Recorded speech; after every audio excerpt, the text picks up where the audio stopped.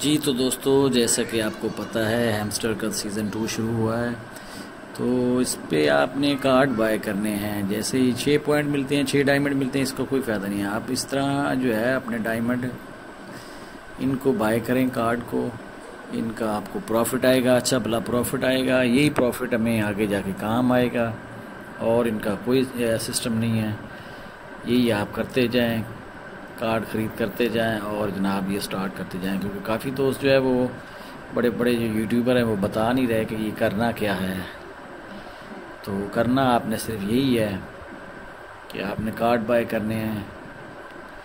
यहाँ से आप अन पे जाके तो तब भी आप ले सकते हैं, मगर ये टैप टैप करने से कुछ भी नहीं होगा। टैप टैप करने वाला तो काम ख़त्म हुआ, यहाँ पे आप अर्न कर सकते हैं। ये अन आप कर सकते हैं जहाँ पे जितने भी आप कार्ड यहाँ पे हैं, इस्तेमाल करें।